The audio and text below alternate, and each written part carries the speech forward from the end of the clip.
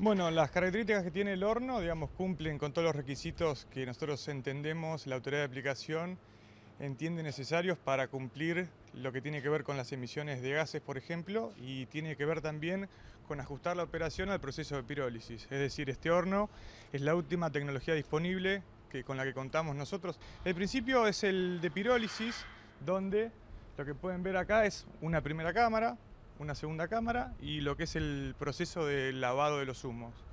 La primera cámara tiene una temperatura de 750 grados, 800 grados. La segunda cámara 1200 y eso hace que la combustión sea casi completa y todo lo que se libera es, después que pasa por el tren de lavado de humos, es simplemente vapor, digamos, agua en forma de vapor.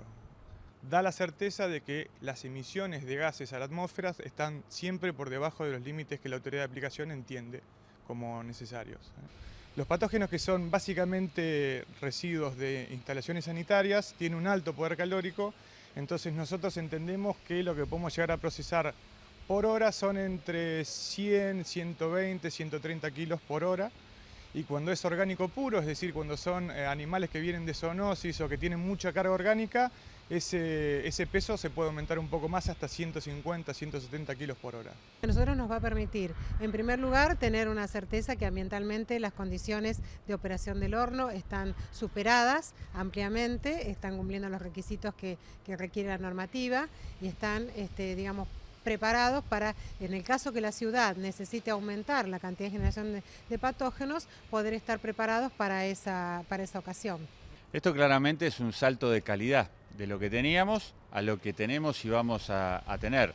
Eh, y es un trabajo que está integrado a lo que es el complejo ambiental Neuquén. En el complejo ambiental Neuquén llevamos todos los residuos domiciliarios. Ahí tenemos una planta de reciclaje.